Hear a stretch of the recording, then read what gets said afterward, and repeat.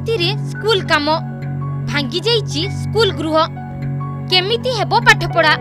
ଅବ୍ୟବସ୍ଥା ଭିତରେ ବଲାଙ୍ଗୀର ଜିଲ୍ଲା Loisingha block Kusang high school five T ମାଧ୍ୟମରେ ସାମିଲ କରି ସ୍କୁଲ କାମ ପାଇଁ ରାଜ୍ୟ ସରକାର ଘୋଷଣା କରିଛନ୍ତି ହେଲେ ଦେଖନ୍ତୁ କାମ ଏମିତି ଚାଲିଛି ମାସେ ବିତିଗଲା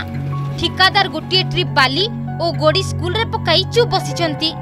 ଖାଲି ସେତିକି ନୁହେଁ ସ୍କୁଲ ଗୃହ ଭଗ୍ନ ଅବସ୍ଥାରେ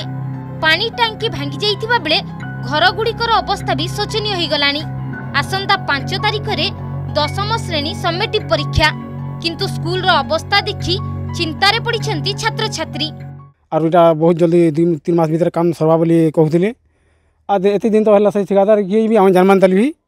আর এত দিন হল তাকে গোটে এইথর তার মুন্সি এইথর সে তাকে কহিলু যে তুই যাই কাম করবু হ্যাঁ বলা দিনে হল আমার জিএসপি গাড়ি সফা সুতরা কলা তারপরে মু সাংে সাংে কাম করি বলা আর একটা দিন তো দেখানি সে ঠিকাদার কি বি আমি জানবানি তালি এতে সবে পারে যেতে সরকারি কর্মচারী মানে অছন সবে পয়সা পতর খাই খুয়া করে এই কামকে লেট করবার লাগে চাহুছন যেটা আজ্ঞা আমার মুখ্যমন্ত্রী আজ্ঞা কইছেন তিন মাসে যেটা কমপ্লিট হইবার কথা ফাইভ টি উপরে সেটা তিন মাসরে হবা বলে আজ্ঞা আসনি লাগবার আমকু আর এথির তদন্ত হবার কথা যে মানে কেন কেন মানে এটা কাম করুছন কাଣା করুছন কেতে পয়সা আউছে কেতে কাଣା আউছে কেন কেন মানে পয়সা পতর খাউছন ଡିଜିଟାଲ ମାଧ୍ୟମରେ ଛାତ୍ରଛାତ୍ରୀ ପାଇବେ ଶିକ୍ଷାଦାନ ଏଥିପାଇଁ ରାଜ୍ୟ ସରକାର ପଇଁଚାଳିଶ ଲକ୍ଷ ଟଙ୍କା ଖର୍ଚ୍ଚ କରୁଛନ୍ତି ଏହି ଫାଇଭ୍ ଟି ସ୍କୁଲ କାମକୁ ତିନି ମାସରେ ସମ୍ପୂର୍ଣ୍ଣ କରିବାକୁ ନିର୍ଦ୍ଦେଶ ଥିବାବେଳେ ସେଥିରେ ବିଳମ୍ବ ଯୋଗୁଁ ଅସନ୍ତୋଷ ଦେଖାଦେଇଛି सरकार जेन नुआक जेन फाइव टी योजना आई फाइव टी योजन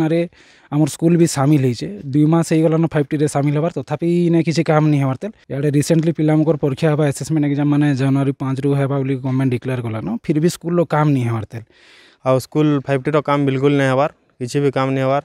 ठिकादार आसिक दिने पलैगला किसी काम भी नहीं होवार आ छुआ पढ़वा बहुत असुविधा अलग क्वाटर के नवार पड़ू तेहरु किसी किसी काम एका नहीं होवार ठिकादार मैंने कहबार नहीं भी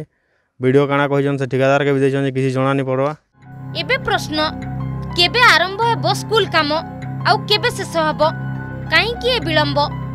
বলাঙ্গীর জেলা লোইসিংহারু রাধেশ্যাম হাতীঙ্ক রিপোর্ট অর্গস নিউজ